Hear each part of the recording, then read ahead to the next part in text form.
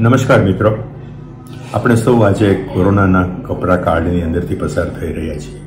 કોરોનાનો વાયરસ એ સમગ્ર વિશ્વ ઉપર કબજો કરીને બેઠો છે અને આપણા અસ્તિત્વ સામે જોખમ ઊભું કરી રહ્યું છે.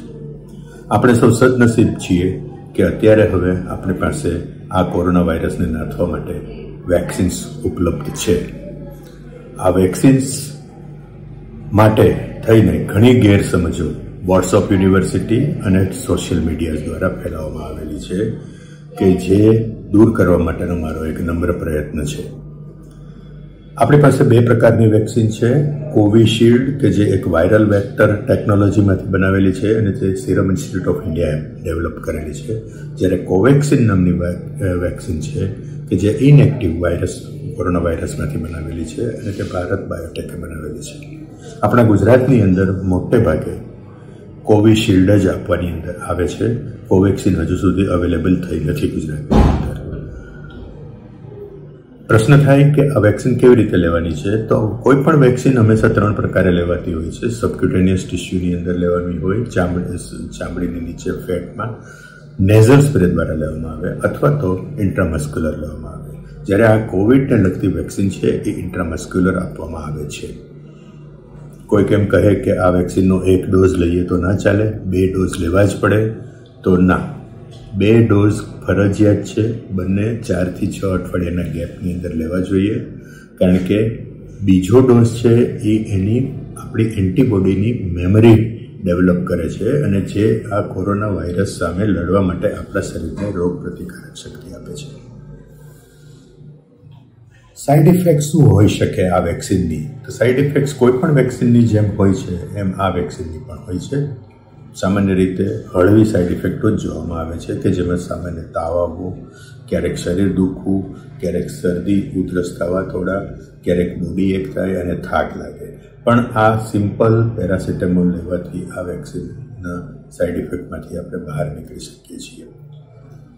કોઈક પેશન્ટને જ્યારે પ્લેટલેટ્સ ઓછા હોય અથવા તો બ્લીડિંગ ટેન્ડન્સી હોય, તો એવા પેશન્ટને બ્લીડિંગ ટેન્ડન્સીવાળાને લોકલ સાઇટ ઉપર હેમેટોમા થવાની શક્યતા રહે છે, તો એવા પેશન્ટોએ ધ્યાન રાખી અને આ વેક્સિન લેવાનું રહે છે.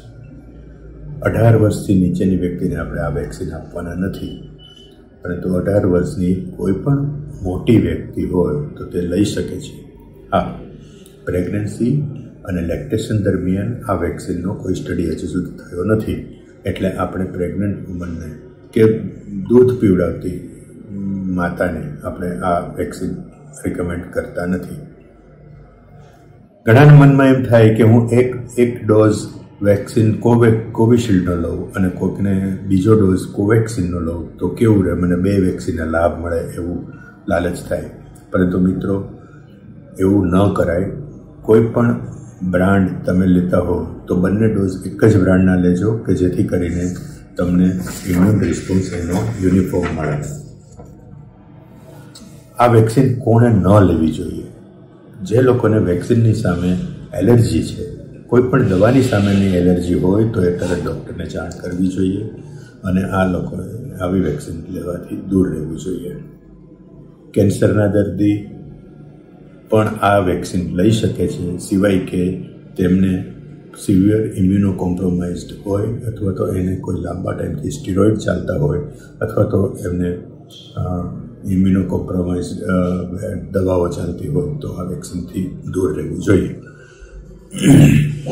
કોઈને અત્યારે વેક્સિન, અત્યારે કોરોનાનું ઇન્ફેક્શન ચાલુ હોય તો શું એ વ્યક્તિ કોરોના વેક્સિન લઈ શકે? તો યુઝવલી ન લેવી જોઈએ. સામાન્ય રીતે કોરોના થયા પછી ચારથી છ અઠવાડિયાનો ગેપ થયો રાખવો જોઈએ અને ત્યાર પછી આ વેક્સિન લેવી જોઈએ કે જેથી કરીને તેનો રિસ્પોન્સ આપણને સારો મળે. જો કોઈ વ્યક્તિને ડાયાબિટીસ હોય, બ્લડ પ્રેશર હોય કે બીજી કોઈ ક્રિટિકલ ઇલનેસ હોય, તો એવી વ્યક્તિએ પણ આ વેક્સિન લઈ શકાય છે. તેણે પોતાની સારવાર તો ચાલુ જ રાખવાની છે. ઉપરાંત આ ડૉક્ટર પોતાના ડૉક્ટરની સલાહ પ્રમાણે આ વેક્સિન લઈ શકાય. મિત્રો મને લાગે છે કે લગભગ તમારા મનમાં રહેલા કોઈ પણ પ્રશ્નો આમાં આવી ગયેલા હશે, જવાબ મળ્યો હશે. આપ સૌ કુશળ રહો, એવી ભગવાનને પ્રાર્થના. Thank you